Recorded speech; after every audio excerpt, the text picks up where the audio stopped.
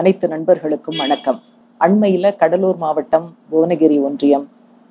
அங்கே இருக்கக்கூடிய தெற்கு திட்டை என்கிற ஊராட்சியினுடைய தலைவர் ஒரு தலித் பெண் ராஜேஸ்வரி அவர்களுக்கு நடந்திருக்கக்கூடிய வன்கொடுமைகள் சாதிய பாகுபாட்டு நடவடிக்கைகளை ஊடகங்கள் மூலமாக வெளிவந்ததை நம்ம பார்த்தோம். அதுக்கு முன்னால் திருவள்ளூர் அடுத்தது இன்னைக்கு பத்திரிகையில் நாகப்பட்டினத்தில் ஒரு ஊராட்சி. இப்படி தமிழகத்தினுடைய பல்வேறு மாவட்டங்கள்ல சாதிய பாகுபாட்டு நடவடிக்கைகள் தீண்டாமை கொடுமைகள் நடந்து கொண்டே இருப்பதை நம்ம பார்க்குறோம். இந்த கொடுமைகளுடைய பரிமாணம் வெவ்வேறு விதமான தன்மை கொண்டது. ஒரு சாதி பெயரை சொல்லி பேசுவது என்பதில் தொடங்கி நரகலை வாயில் திணிப்பது என்பது வரை தலித் பெண் என்று சொன்னால் பாலியல் வல்லுறவு கூட்டு பாலியல் வல்லுறவு நடவடிக்கைகள் அல்லது ஆணோ பெண்ணோ கொலை செய்வது வரை மிக குரூரமாக கொடுமையாக கொலை செய்வது வரை தீண்டாமையினுடைய சாதிய பாகுபாட்டினுடைய சாதிய ஒடுக்குமுறையினுடைய பல்வேறு வடிவங்களை தமிழகத்துல பார்த்துக்கிட்டு இருக்கோம். பெரியார் பிறந்த மண் தான். சிங்காரவேலர் பிறந்த மண் தான்.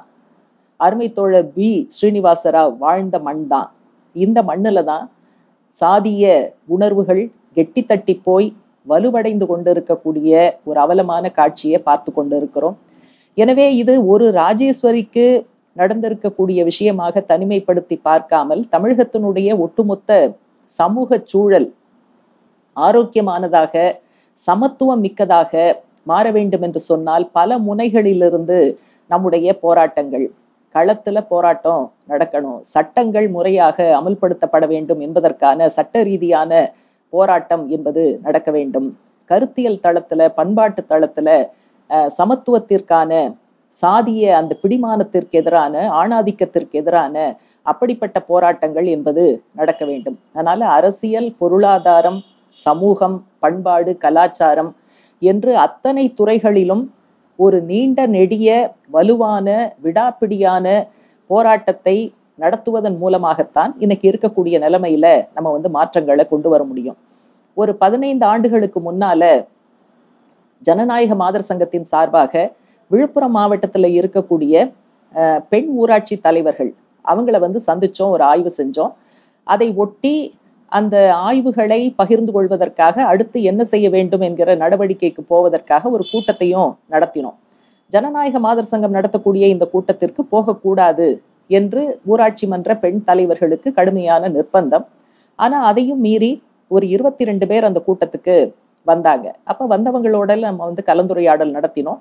பல்வேறு கட்சிகளைச் சேர்ந்தவர்கள் வந்தார்கள். இப்போ முதலாளித்துவ கட்சிகளைச் சேர்ந்த பெண் ஊராட்சி மன்ற தலைவர்கள் எல்லாம் இந்த மாதிரி பிரச்சனை வருது. ஆணாதிக்க உணர்வோட எங்களை அவமானப்படுத்துறாங்க. எங்களை வந்து கூட்டம் நடத்த விடுறது கிடையாது. பிளாங்க் செக்ல கையெழுத்து வாங்குறாங்க. அல்லது என்னுடைய கணவர் என்னை வந்து ஒரு பினாமியாக பயன்படுத்துகிறார். இப்படியான அல்லது என்னுடைய மாமனார் என்னை வந்து பினாமியாக பயன்படுத்துகிறார். அப்படிங்கிற விஷயங்கள்லாம் பேசினாங்க. நீங்கள் இன்னொரு பக்கம் அந்த இருபத்தி ரெண்டு பேரில் ஒரு ஐந்து அல்லது ஆறு பேர் வந்து தலித் பெண் தலைவர்கள். அவங்க எல்லாருமே என்ன சொன்னாங்க?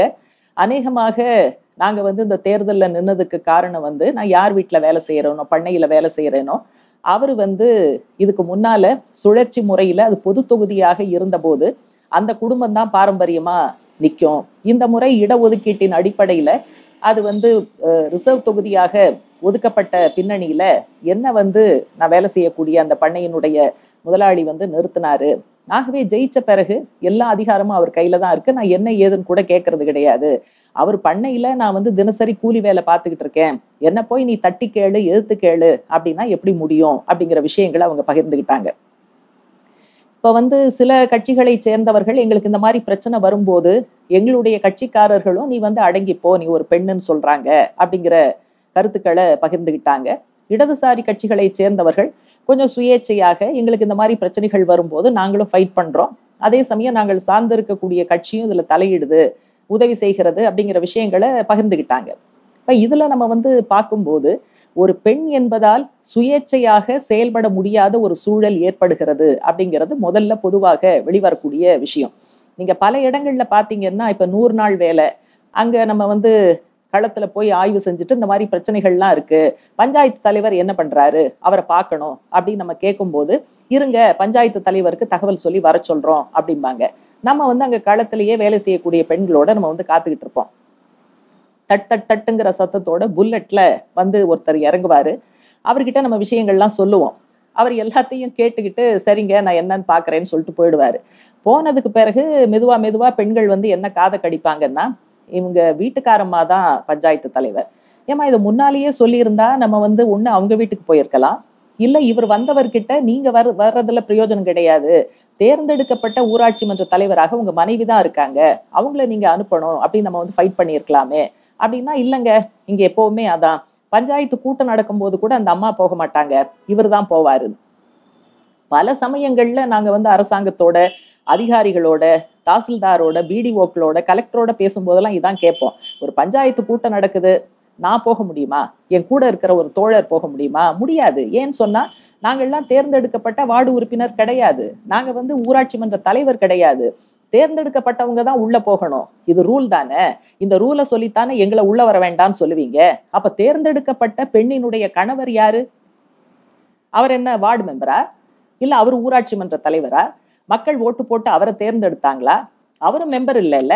அப்ப அவரை மட்டும் கூட்டத்திற்குள் அனுமதிப்பதற்கான அதிகாரம் அதிகாரிகளுக்கு எங்க இருந்து வந்தது அப்படிங்கிற கேள்வியை வலுவா கேட்டிருக்கோம். வட இந்தியாவில எல்லாம் இதுக்கு பேரே பஞ்ச்பதி அதாவது பஞ்சாயத்து தலைவருடைய கணவர். பஞ்ச்பதிக்கு ஒரு அஹ், அங்கீகாரம்ங்கிறது பல இடங்கள்ல இருக்கு அப்படிங்கிறத பாக்குறோம். ஒரு தரம் ஜெயங்கொண்ட வழியா போகும்போது கூட இது வந்து ஒரு தாசில்தார் ஆபீஸ் பிடிஓ ஆபீஸ் இங்க தான் பஞ்சாயத்து தலைவர்களுடைய கூட்டம் நடக்குது. வெளியில பூரா பாத்தீங்கன்னா டூ வீலர் பைக்கு நான் கூட வேடிக்கையா பரவாயில்லையே. பெண்கள்லாம் வந்து இவ்வளோ பேர் டூ வீலர் ஓட்ட கத்துக்கிட்டு இவ்வளோ பஞ்சாயத்து தலைவர்கள் டூ வீலர்ல வராங்களேங்க எல்லாம் சிரிச்சுக்கிட்டு நீங்க வேற எல்லாம் உள்ளுக்குள்ள அவங்க கணவன்மார்கள் தான் உட்கார்ந்துருக்காங்கன்னு.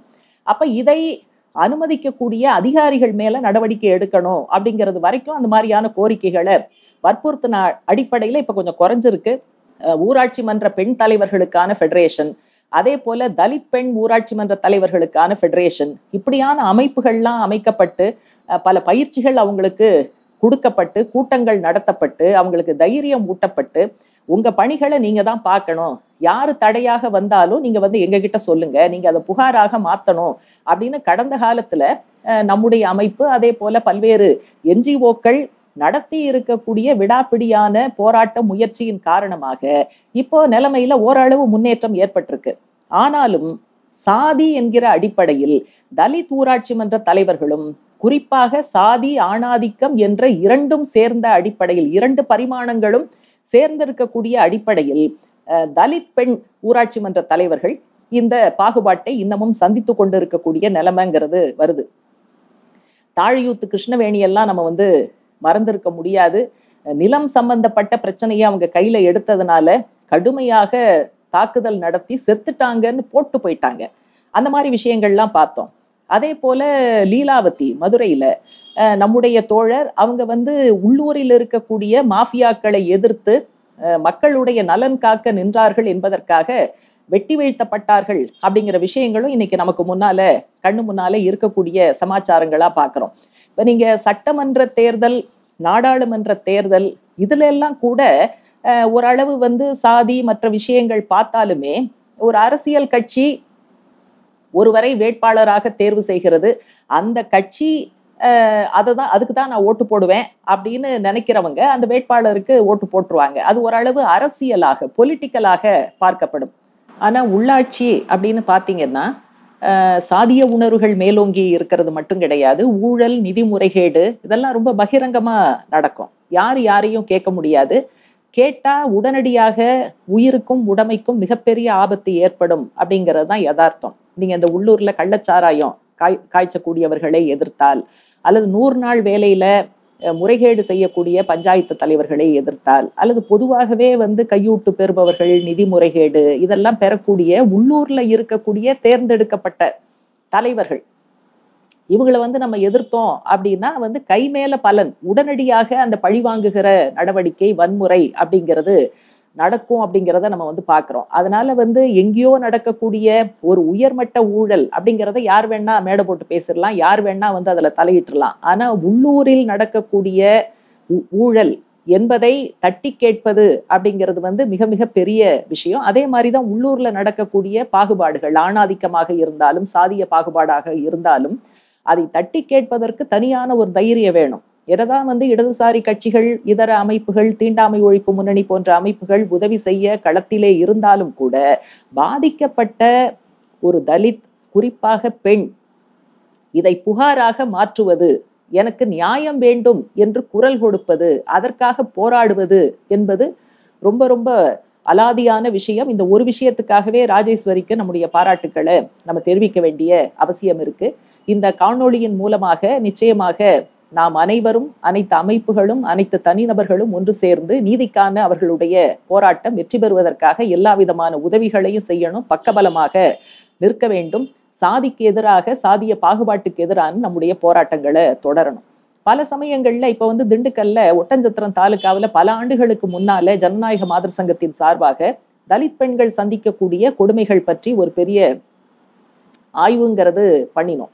எல்லா இடங்கள்லையும் கேட்ட உடனே நீங்க ஏன் இதை தட்டி கேட்க கூடாது? தோட பிருந்தா கராத் முழுக்க முழுக்க அந்த முப்பது கிராமங்களுக்கும் எங்களோட வந்தாங்க. பாலபாரதி எல்லாருமே நாங்கள்லாம் ஒன்னா தான் போனோம். அப்ப எல்லாருமே கேட்டோம். நீங்க ஏன் இதை தட்டி கேட்க கூடாதுன்னா தட்டி கேட்டோம்னு சொன்னா அடுத்த நாள் வந்து அவங்க தோட்டத்துல நாங்க வேலைக்கு போக முடியாது. மீறி போனோம்னு சொன்னா சட்டம் சட்டம்னு சொல்றல்ல நீ வந்து சட்டத்துக்கிட்ட போய் சோறு கேளு. எங்க கிட்ட நீ ஏன் சம்பளம் கேட்கிற? அப்படின்னு சொல்றாங்க. அதனாலதான் உங்களுக்கு இந்த கல்வி வேலை வாய்ப்பு அதே போல பொருளாதார ரீதியான முன்னேற்றம் வீடு கட்டுவதற்கான வசதிகள் அதே போல சம்பளம் இந்த மாதிரியான விஷயங்கள்லாம் வந்து அரசு முறைப்படுத்தாவிட்டால் எவ்வளவு சட்டங்கள் வந்தாலும் சொத்திலும் அதிகாரத்திலும் பங்கு இல்லை என்று சொன்னால் நம்மால முன்னேற முடியாது ரொம்ப கஷ்டம்.